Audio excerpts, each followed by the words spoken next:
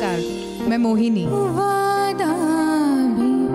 India stage, ये एक ऐसा स्टेज है जिसके साथ मैं अपनी कुछ ख़ास कॉम्पोजिशंस शेयर करने जा रही हूँ।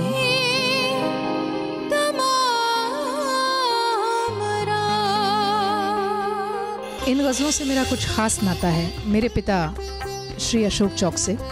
ये सब उनकी यादगार कॉम्पोजिशंस हैं।